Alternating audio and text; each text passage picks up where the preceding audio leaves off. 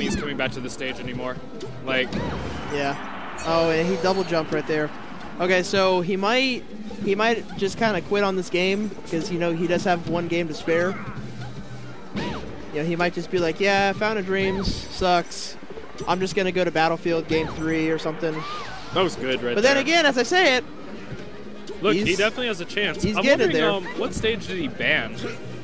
Wes banned Dreamland for sure, or or not Wes. Uh, oh, the triple knee, Oh my god. the triple knee, Wait, the wait, and then just like that, he's back into this game, Wow. guys. Dude, that was really He caught Tommy DIing him Wes hard. showing why he's definitely Oh, up for man. top 10 in Georgia. the stomp, He always the has stomp, been. the shield grab, the up air. Oh, he went hard! It's, it's still doable. It's still doable. He went very hard there. Up.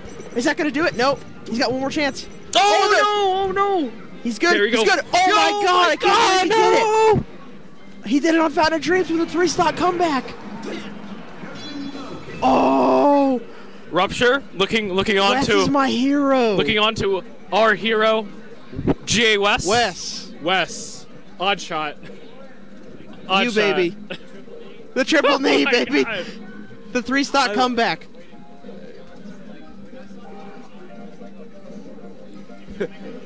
It's good, Oh, good to know. man. Now, if you're ever in a situation where you're three stocks ahead of Wes, you can just get triple need and then lose the game. Like, Wow. Wes was like, and T-Bag can't even be mad at himself for that. Wes just turned it on. Wes's preciseness with those last like conversions. Oh, Wow. I was I'm sitting there thinking like, eh, Wes is down three stocks on Fountain of Dreams. He's probably just gonna cash this one in and he's gonna take it to game three. In blink of an eye, here he is.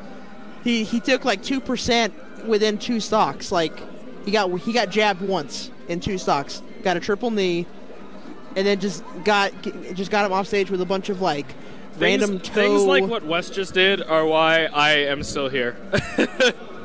this is why I haven't dropped a CRT on my head yet.